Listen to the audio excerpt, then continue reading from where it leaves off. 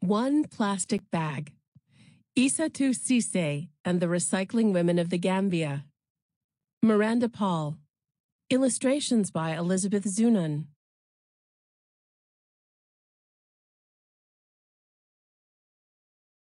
Njau, Gambia. Isatou walks with her chin frozen. Fat raindrops pelt her bare arms. Her face hides in the shadow of a palm leaf basket, and her neck stings with every step.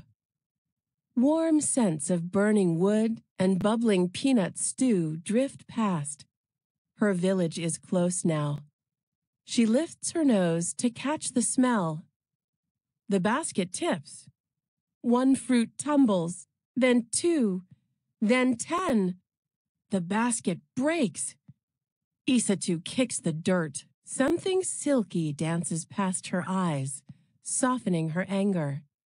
It moves like a flag, flapping in the wind, and settles under a tamarind tree. Isatou slides the strange fabric through her fingers and discovers it can carry things inside. She gathers her fruits in the bag. The basket is useless now. She drops it, knowing it will crumble and mix back in with the dirt.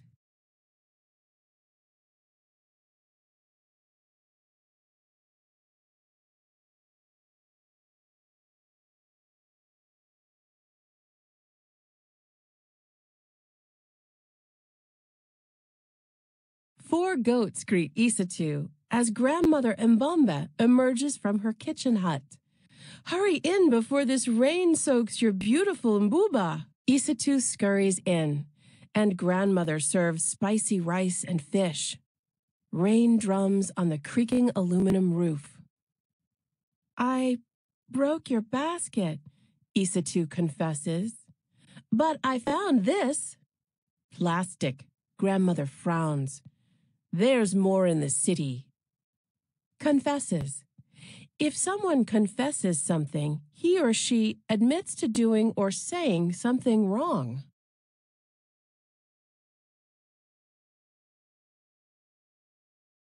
Day after day, Isatou watches neighbors tote their things in bright blue or black plastic bags. Children slurp water and wanjo from tiny holes poked in clear bags. Market trays fill with minties wrapped in rainbows of plastic. The colors are beautiful, she thinks. She swings her bag high. The handle breaks.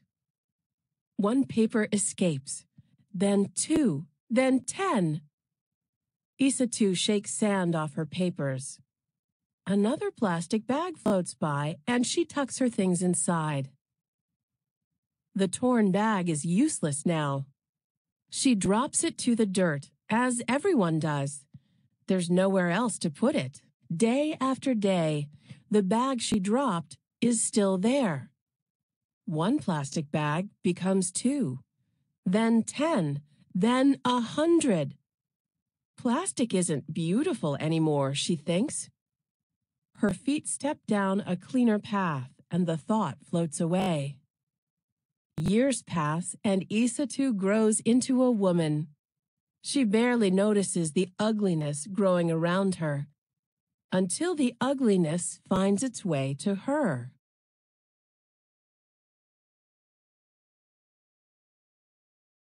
Isatou hears a goat crying and hurries towards grandmother's house. Why is it tied up? Where are the other goats? Inside, the butcher is speaking in a low voice. Many goats have been eating these, he says. The bags twist around their insides, and the animals cannot survive. Now three of your goats and so many other goats in the village have died. Grandmother Mbombe's powerful shoulders sag. Isatou must be strong and do something. But what? Isatou's feet lead her to the old, ugly road. A pile of garbage stands as wide as grandmother's cooking hut. Mosquitoes swarm near dirty pools of water alongside the pile, Smoke from burning plastic stings her nose. Her feet back away. Goats scamper past. They forage through the trash for food. Her feet stop. She knows too much to ignore it now. Holding her breath, she plucks one plastic bag from the pile. Then two, then ten, then a hundred. Forage. When animals forage, they search through an area to find food.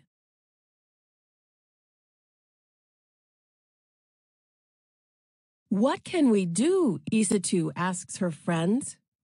Let's wash them, says Fatim, pulling out Omo soap. Marim grabs a bucket, and Incha fetches water from the well. Peggy finds clothespins, and they clip the washed bags on the line. As the bags dry, Isatou watches her sister crochet. Can you teach me? Wow, yes. Her sister shows Isatou the stitches, then hands her a metal tool. Isatou's fingers busy themselves. In, out, around. Jerejef, thank you.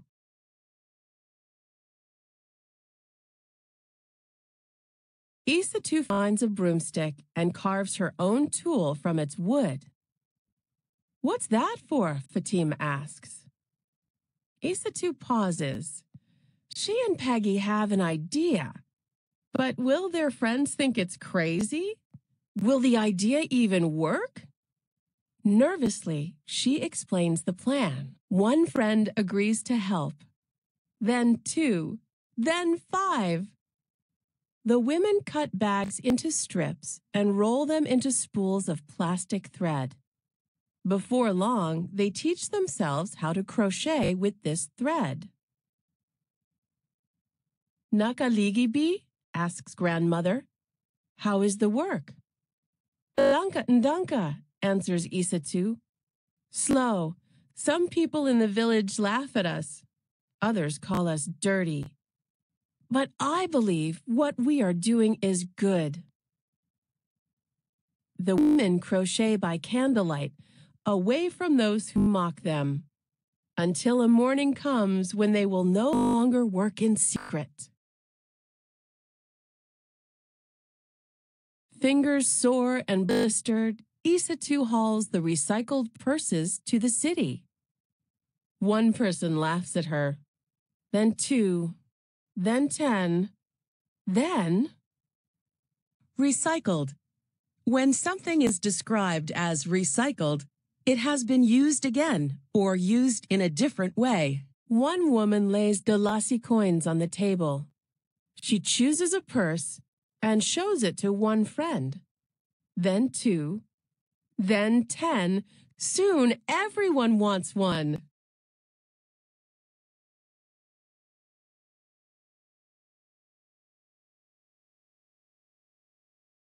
Isatou fills her own purse with Dalasi.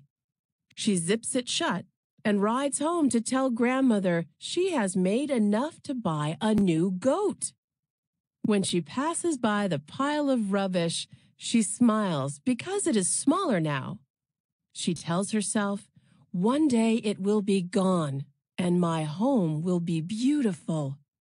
And one day it was.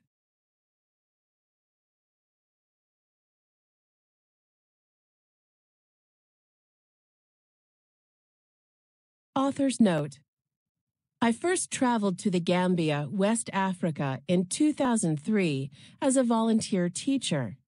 I had an amazing experience, but something threatened to ruin my memory of it all. The heaps of garbage piled everywhere. The problem seemed too big to fix. Then a friend told me that in a rural village, a woman named Isatou Ceesay was doing something about it. My friend showed me a beautiful purse made from recycled plastic bags. And I vowed to meet Isatou. During my third stay in the Gambia in 2007, I finally connected with Isatou and visited her home in Njau. There, I interviewed many women and girls, including the original Gambian women who had begun the recycling project with Isatou a decade earlier. They shared past stories of dead livestock, strangled gardens, and malaria outbreaks linked to the trash. But they also shared new stories of healthier families, better income, and increased self confidence. Although I wasn't able to include all the details about the women and their project in this book, I believe the story I've shaped captures their spirit and inspirational accomplishments. Today, Njau is much cleaner, the goats are healthier, and the gardens grow better. Residents from nearby towns travel there to learn the craft of recycling. People from around the world continue to purchase the recycled plastic purses, and the women contribute some of their earnings toward an empowerment center where community members enjoy free health and literacy classes, as well as learn about the dangers of burning plastic trash. In 2012, that center also became the home for the region's first public library. By the time you read this book, I hope that a copy of One Plastic Bag is shelved there and that it will be checked out once, then twice, then a hundred times.